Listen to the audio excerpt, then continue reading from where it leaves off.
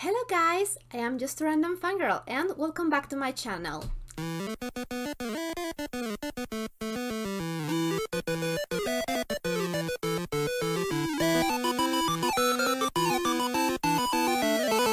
So, this is Crazy Ex-Girlfriend episode number 4, season 1. I am going on a date with Josh's friend. So that is not spoilery, not at all. but anyway, so I'm really enjoying this series so far. It's been great. I love the music, I love the characters. I really want to see where it's going. Like the whole thing. There are a lot of questions that I have, and one of them is why aren't there like more people watching this show? It is like so great so far. And you know, if the comment section in the com- in the comment section everyone is like yeah this is great and this is one of the best shows out there and and i'm like why why aren't more people reacting to this? Why why? Just why? I don't know. Um, i'm i'm really curious to to see where the story is going but anyway last time rebecca threw a party at her house we learned some things about her past i mean not a lot but we we learned that, for example, her father abandoned her and her mother when she was a kid, and it was uh, in one of her parties, and that was awful. Like, please don't do that to your kid. Like, that will scar you. That will scar you. So, anyway, I am really mad at her dad. He's an asshole. I mean, I don't know, maybe maybe he does care about her. I don't know. I don't know. I am not going to make judgments so far because I I don't know much about the guy. I hope that we get to see more about her past, her life. What is the series of events that led her to where she is now and who she is now? So yeah, I got a lot of questions. but um, as I was saying, this series is been great. I am loving it. And okay, so um, by the title, I guess that Rebecca is going on a date with Josh's friend.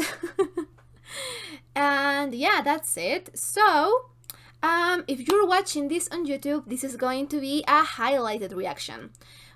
Um, but if you want to catch the full length unedited, uncut reaction, you can check my Patreon account. I'm going to leave you that in the description box down below.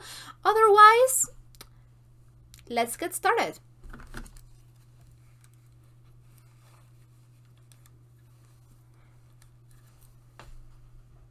Okay. Are our choices. And this woman's choices are nuts. I mean, she's seriously bonker balls. Heather, Heather, we don't use terms like that in abnormal psychology. Oh my god, it's it's a neighbor. I'm sorry, bonker balls isn't in the DSM-5 yet. Okay. oh my Because god. That's what she is. I, mean, I love you this. Have to like see it to believe it. yeah, I don't kinda. know where the hell she came from. I want. You lean back on your tail. Yeah, that's only useful advice if you're riding a dog. That's okay, how long do we have to risk bodily harm? I thought you said Josh hit the skate park with his nephew every Oh, Saturday okay. morning. There it I. They might. I just thought it might be fun to run into him, but I want to learn how to skate regardless. Sure you do. I want to shred some Sure you do. And now that Valencia says that it's cool for me and Josh to hang out, Oh. you know, thought I would learn. So Okay. he and I could like chill and skate and hang. All right, well, when are you guys gonna chill, skate, hang out next? I mean, do you have a plan? No, he hasn't contacted me per Mm, se, but you know, good. that's what he does. he pops up, disappears, pops up, disappears. No, It's honey, no. Oh, maybe this is him right now. Oh no, it's it's not him, but it it's uh it's Instagram. A vacation in wine country. How lovely. Wine country, Oh that sounds great. God. Boobs, abs, the hair, even her wrists are pretty. Yeah, She's never been on an Valencia's pretty. phase. Believe me, I've checked all of her. married. Audra and Levine. to a Now, that's a name. manager. Good for Audra Audra Levine. Levine. Also, My next dog is going to be called take. Remember Audra the one Levine. you were That is a name. for? So now basically she has a life Oh. you could have had, almost had, but ruined with all your ridiculous choices.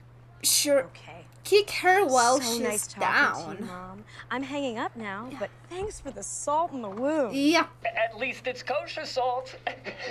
he delivered you. Okay, screw your Oh mom. god. That is Screw bad. Audra Levine. Okay, you are doing just Audra Levine. fine. That's a great name. I'm gonna call. I'm gonna call you later. I love it. No, Audra no, Levine. Let's do something to cheer you up. We're I not have to pick up supposed to from therapy, know who it- that it's, it's is, right near right? the dress barn. Right near the dress barn. Come on, you love the dress barn. Dress for Hey, Don't skate sad, or maybe at all. Yeah, ma- Did? I think so.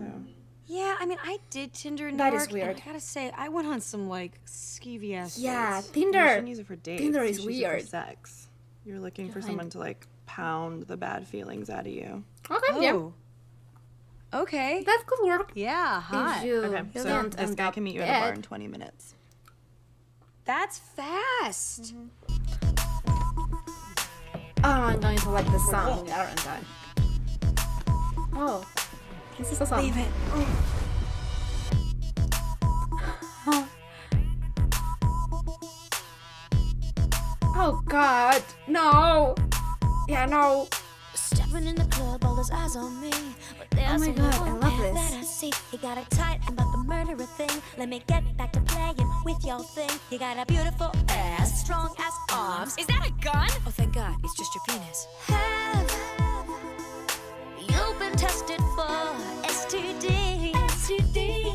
God, this is ridiculous. I love it. Way to the three-month window and got tested again. Just making sure. Most people don't know about the window. Hey, sexy stranger, let's go to my place. And please don't harvest my kidney. Don't Oh give my me God. that incredulous face. I saw a movie like that Every song Uh, in this show is so relatable in a weird way. Donut. No, eat it. No, you eat the donut. I made a deal with myself. Yeah, you stay strong. We made a deal. You were gonna ask out Rebecca, and I was gonna ask out Olivia. And I held up my end of the bargain, like a man. I love it, that How did that work out? kid. well, she didn't really answer. She just made this, like, choking laugh That sound. is bad. I think she has. If I don't get a job soon, I'm, I'll have to work at my dad's radiology lab, which is like all cancer all the time. I gotta do something else. All I'll cancer. take anything. Hey, I can ask Kevin if we're hiring here. Oh God, no. you kidding me? I've completely given up. That's yeah. You may need to take a trip to your happy place. Are you guys talking about drugs? Because drugs are bad. My cousin tried bath salts, and she ate off her. Oh, um, healthy choices. Yeah. That applies to your dating life too, don't you think? Yeah, like I think I really need to be like an older guy, maybe like a professor, maybe like.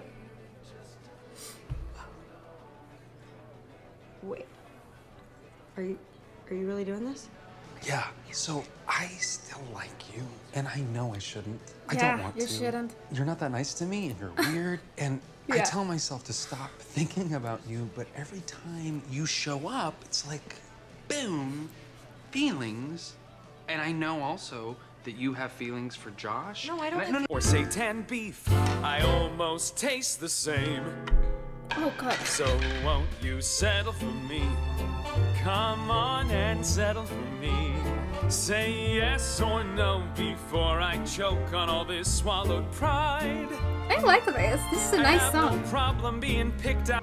Let's pretend I didn't say that. Settle for me. I love this. Proposal. Settle for me. It makes a certain sense. He's a fantasy. Oh, God. But hey, let's think this through. Yes, Josh is a dream, but I'm right here in flesh and blood and self-hate. Settle for me in a sad way, darling, it's fate. Can I just say how smart the lyrics are? Becca. think I just said that. You just you don't think there's like any reason that I should? Honey, please just don't embarrass. Any Don't, don't, at don't- you're embarrassing yourself and that I myself. Think of. Nope, nothing. Well, I should run. Um, I gotta get That's this into awkward. law. Thank you so much. Oh, thank. Ah. Luck. God, please. Okay. You reference Kafka in it. It's like What did you go to Harvard or something? Is- No, no, no. I, I, I went, I went to Northridge, and, and barely. Like, I never went to class. I just mean that at no point do you even mention electronics or being into electronics, and this is an electronic store, so yeah, that I would be think huge. That he should So I don't know. Maybe, uh, maybe been you should work at a place that's sells books. Awful. That's why you have to be yourself most of the times. The West Covina Taco Festival. The Oh, a second best taco thing to do in this town besides leave. I mean, I Mexico saw is for this a at taco festival all around. This is so cool, but what if it rains cool. again? With my luck, it probably will, because when I plan an outdoor date, it's the one rainy they day really in the tacos, middle of a five-year drought.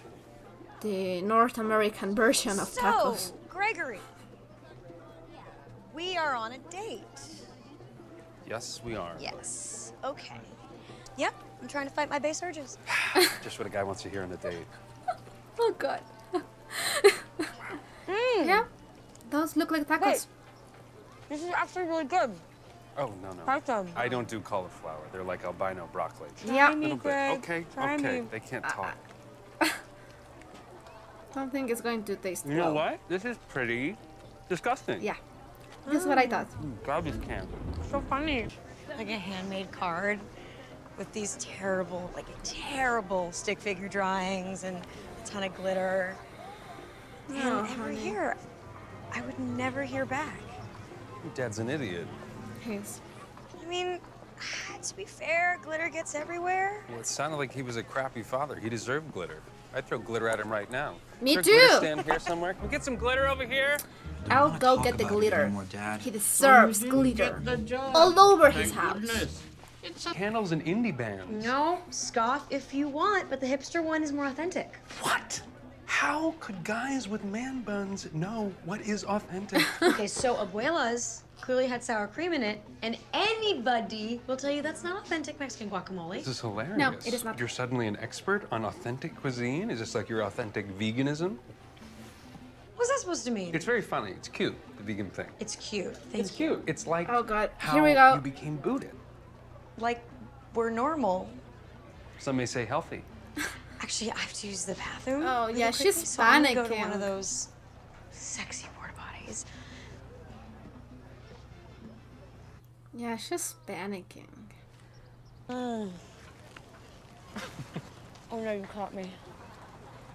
Don't worry, your secret is safe with me. Yeah, I knew it. I knew something was up with that guy. Are you kidding me?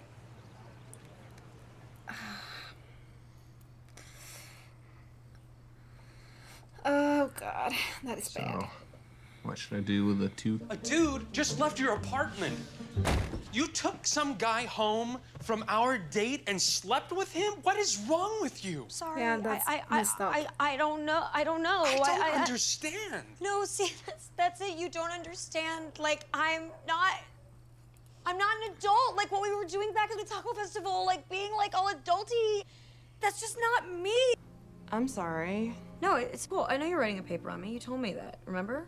I feel kind of bad now. Do you ever have one of those days where you've done something so horrible, it feels like you did it in a dream, yeah. and you you just want to wake up and you want it to be all okay, but there's no waking up because you did it for realsies. If you want to grab your laptop and take all this down, it's pretty fresh right now. You know, I just you Oh, you get some rest, kiddo. she cares in her way. I'm older than you. Mentally, no, I don't think you are. Rebecca needs to grow up, and that is a long way ahead of her. And I love her shoes. Seems to me like she doesn't fit into any of the categories of your little book. Ms. Davis, she sounds like she's suffering from a number of classifiable disorders. Well, like, I, I'm sure she is. But you know what? I don't want to label her. I just want to be her friend. Oh, that's nice. This class blows. I quit. I knew I should have taken coding. That is, she's you so feel badass. disgusted and uneasy with your current butter? Make an effort, make a decision. Don't make mistakes. Gary, you've been coming up with some really intense copy lately. Don't Okay. get me wrong. The butter is flying off the shelves, but is everything okay? I left my wife for a prostitute. Damn! Dude! Okay. That was something. Um, poor guy. Okay, so first of all, I have to say that I don't know. I feel conflictuated. So, in one hand, I love how Rebecca and Greg are together. I believe that they are great. They have good chemistry. They have, yeah, they're great together. But with more and more and more episodes, I just realized that Josh is such a nice guy. Like, yeah, he's a little bit dumb, but I really like him. When we first met him, I didn't thought that I was going to like him, like ever. I thought that he was going to be some jerk. And now I don't know.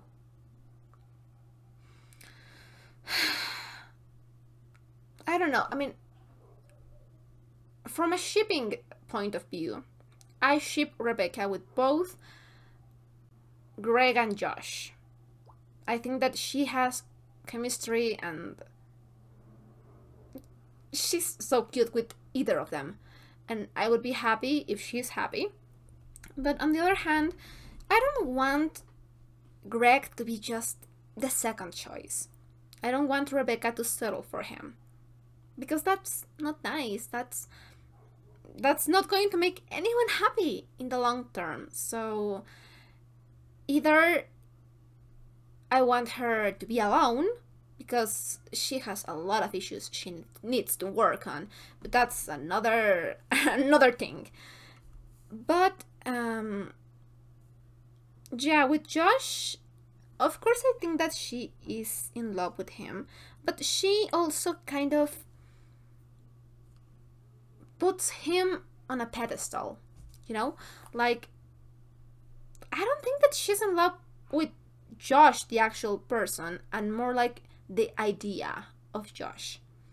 And that's not fair for either of them either. So I think that Rebecca needs to grow up and at least she's aware of the things that, that she's doing. We can't expect people to behave correctly all of the time. And Rebecca is not sure about what she's doing or why she's doing it, and she's not being honest with herself in any of this. So, yeah. It's a pretty shitty thing that she did, but I get it. It's just that she needs to try to do best. That's it. So yeah, I really love all of the characters so far. That is that is something. But anyway, so um oh yeah, and the relationship that Rebecca has with her mom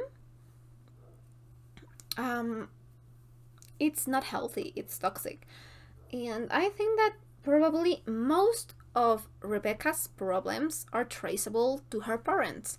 And I think that it's cool that we're seeing how it affects her because uh, we, we we know that she has abandonment issues because of her dad and that she she doesn't think too highly of herself because of her mom because i mean i don't know i just think that she doesn't have good autostim like when she says that she greg shouldn't waste his time on her for example and i think that she was just trying to ruin things on purpose if that makes sense and she was panicking. And Greg is not her first choice. But anyway, so I think that her relationship with her mom is really interesting. Also, I really like the relationship that she has with um Heather. Heather. I, I really like it. I hope that they become actual friends in time. So yeah, th- that's cool. I love all of the music in the show again, but that's that's normal. The show is pretty great. And Rebecca is doing healthier choices. Um yeah, I think that we all been there and do healthy choices, make healthy choices. It's it's difficult. That being on I don't know, like spiritual um food eating kind of thing or in literally making healthier choices. It is it is tough for everyone. And Greg asks Rebecca out in this episode. So again, like I said, I think that Greg is the actual romantic interest for Rebecca, but of course this is just this is just episode number 4, so it makes sense that they are not together at the end of this. That would be just super easy. And also like look at this. This doesn't work when you are standing I mean for for this for this to work this desk should be a lot higher, right? Like for when you are standing up, you can write and see everything more comfortably. I don't know. I just think the design is weird. Anyway, so Josh is trying to get a job in this tech center. Rebecca helps him, but they think that he is overqualified because, well, Rebecca is really smart. And then in their date, they go to a taco festival where musicians play Cielito Lindo. And I love their dynamic. I just I just love their dynamic. But of course things cannot go well. Rebecca starts panicking, then she brings this guy home. And you know, crappy decisions all over. I don't know what is going to happen between Rebecca and Greg now because I don't I don't see Greg forgiving this. At least not for now. So yeah. But the good thing is that Rebecca has got a new friend, Heather, and Josh has his dream job. Let's see how that plays out in later episodes because maybe he will not like working there as much as he thinks he will. But for now, I really like the two main possible ships, and yeah, I'm really enjoying this. And the music again, great, all of it. Um, I'm going to listen to it. So yeah, I think that that's it. I really love this episode as always. And if you want to help out the channel, then don't forget don't forget to leave a like or a comment, follow if you haven't already, and I think that's it. So we'll be seeing each other on the next reaction. Bye guys!